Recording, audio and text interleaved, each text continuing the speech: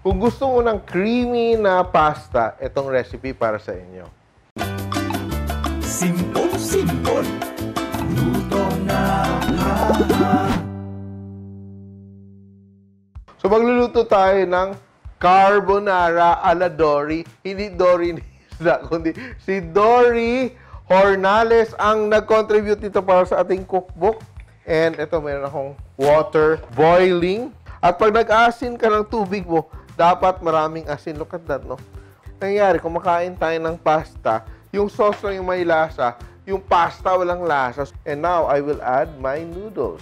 Yan. So, itong recipe na to, if you want to grab a copy, it's very simple to do. Pero kung gusto mo ng kopya ng libro, you can download a copy of this cookbook from the NutriAsia website. Now, the link is down below, and you will get this and 49 other recipes sa ating UFC 50th anniversary cookbook. So, what I do, I have my bacon here. I will begin to fry my bacon so that the fat will render. No? So that's what we want. Gusto natin na magmantika yung ating bacon. And I will just have some sweet ham. Cut natin to strips. And another thing we will add here also, a nice chunkiness to our carbonara. We will add our pieces and stems mushroom UFC, no, from UFC.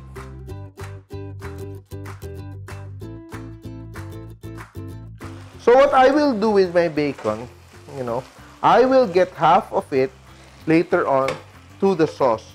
But the rest, I will fry up until crispy para sa ating garnish on top. No?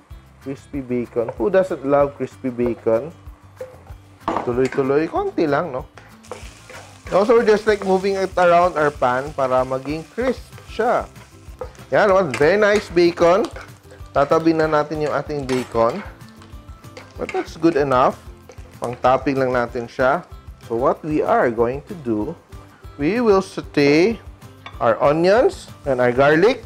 Let's cook that first in the bacon fat. So now, I'm adding a little bit of butter. I'm adding butter pang dagdag ng dinamnam ng ating sauce. And I will add my mushrooms, my UFC pieces and stems mushrooms. And again, I will season with salt. Not too much, but we just want it to have a bit of flavor. Salt. Very important to saute your mushrooms para mas sumarap siya, mas lumabas yung flavor niya. Then, we add our sweet ham, sliced sweet ham, and also our bacon, no? yung half of our bacon. Yan. So, all of that comes together. So, let that cook. And now, I will strain my pasta. So, I did not put any oil sa aking pasta noodles. So, kasi lulutuin ko siya. Now is the time I will add my evaporated milk. So, ito siya. It's the time you add your seasoning granules or whatever you want. And now, remember, sabi ko sa inyo, di ba, yung pasta mo, lulutuin mo siya, nang kulang siya ng mga 2 minutes, no? Bago siya maging fully cooked para magkalasa yung ating noodles. Season with black pepper. No?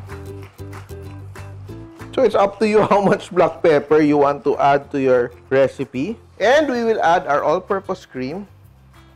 Ito na yung pang-finish natin. And, konting luto na lang yan. And we will be ready to serve. Dun, dun, dun! It's steaming! malaki yung plato, pero konti lang isa-serve natin. Eh, di ba ganun yung mga social? Ito, pang merienda, perfect na to. Yan! O, di ba? May pa parsley pa. And ito na siya ang ating recipe galing kay Dory para sa ating UFC 50th Anniversary Cookbook. Try nyo na ang carbonara ala Dory. Simple!